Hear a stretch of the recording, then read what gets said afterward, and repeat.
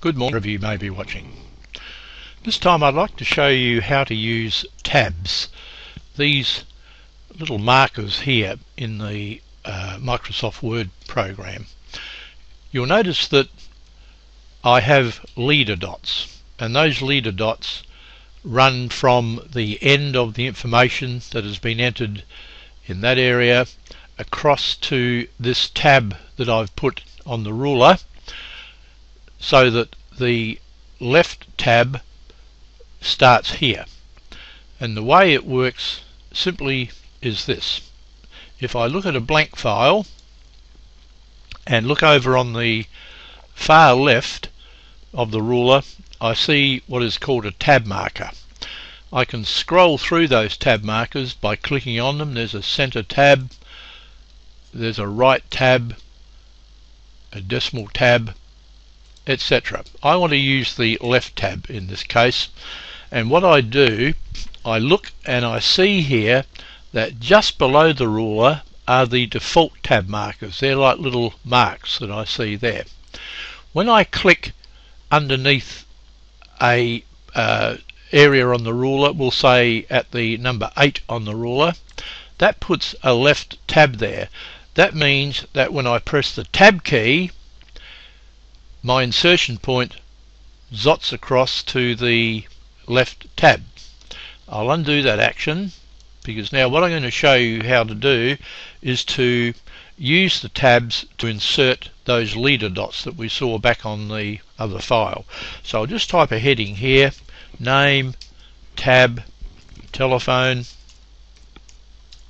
I press enter and every time I press enter I create a new paragraph First bloke is Bill Smith and we'll tab and his telephone number is 98765432 when I press enter I'm taken down to the next uh, line down uh, Sue Smith. Her number is 7865 da da da da da.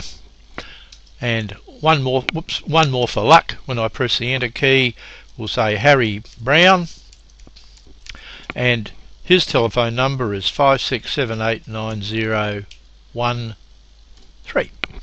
Now, I've created paragraphs every time I press the enter key. Now what I want to do is to put those leader dots between the name and the telephone number. So I will select the paragraphs by dragging through them and then in the home tab I look for the paragraph group and I'm going to click the little uh, marker in the bottom right hand corner. When I click that marker I see that there is a tab down here called tabs. So I'm going to click on tabs and here it allows me to put in the leader dots.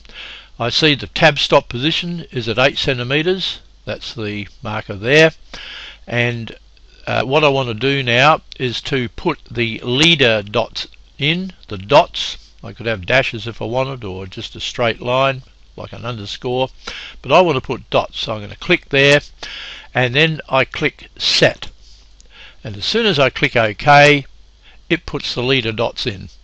It's as simple as that nothing difficult about it and what I can do while I'm here if I wanted just so it looks like the other file I'm going to uh, make the text red bold it and I'll increase the font size a little bit just to um, uh, make it different from an appearance point of view so to run through it again what I do I click the drop arrow here in the paragraph group I go to the tabs tab click in the type of leader that I want, click set and OK. And that will show me those leader dots. It's as easy as that. What I'm going to do uh, in the next uh, video is to show you uh, how to use the different tab markers over here. Uh, that will be in the next video and I know you'll find that very interesting because quite frankly not a lot of uh, people know how to use the tabs to get the best layout on their Word screen. Thank you so much for watching. Remember to subscribe, comment if you wish and we could uh, certainly use a thumbs up like. Thank you so much for watching.